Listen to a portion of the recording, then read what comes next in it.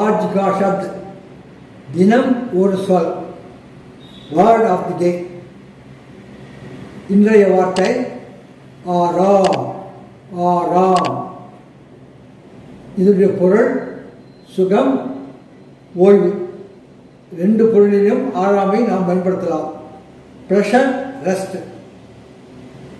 இதை எப்படி வாக்கியத்தில் அமைப்பது? நான் சுகமாக இருக்கிறேன். மை ஆராம் சே ரக்தா ஹோம் மை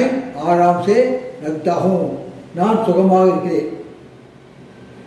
நோயாளி ஓய்வு எடுக்க வேண்டும். ரோகிக்கோ ஆறாம் லேனா சாகியே ரோகிக்கோ ஆறாம் லேனா சாகியே நோயாளி ஓய்வு எடுக்க வேண்டும்.